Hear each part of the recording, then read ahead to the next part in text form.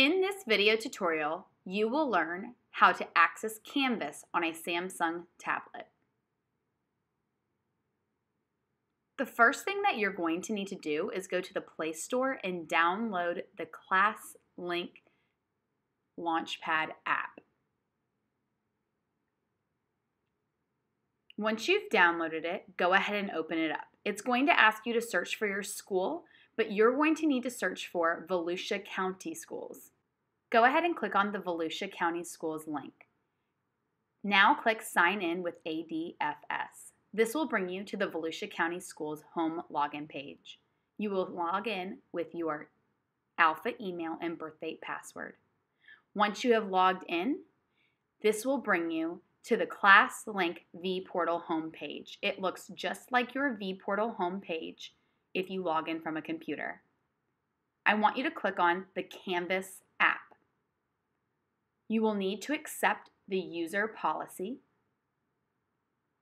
It will then bring you to your student's Canvas dashboard. Here, you will see all of the classes that your student has been enrolled in. Go ahead and click on the ICP third grade 2019 20 card.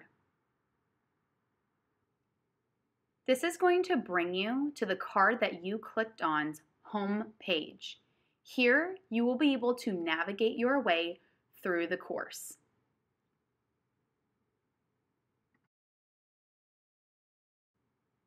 Here are a few quick tips to remember.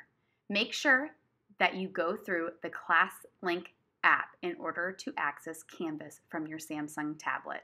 When searching for your school, you must type in Volusia County Schools. You will log in using your Alpha email address and your birth date password. Once you've logged in, you will need to click on the Canvas app. If you have any further questions or technical difficulties, please reach out to your child's teacher. I hope this video tutorial was helpful. Thank you for watching.